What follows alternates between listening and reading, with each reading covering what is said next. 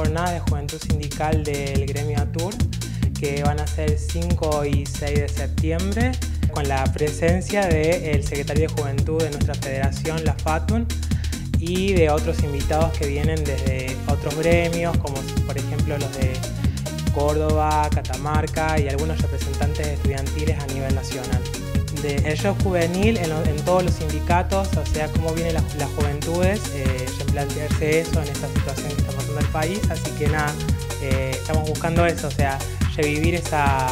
esa energía que hay en los jóvenes ahora en, en los sindicatos, más que nada. La jornada está destinada a a todos los gremios, a todas las organizaciones juveniles también de, la provincia y a todas las personas que tengan el interés de participar. Está abierto a todos. Obviamente como es una actividad de nuestro gremio, ATUR, eh, siempre se trata del rol del no docente dentro de lo que es la, comunidad universitaria, eh, en el sindicalismo también y em, también cómo, cómo,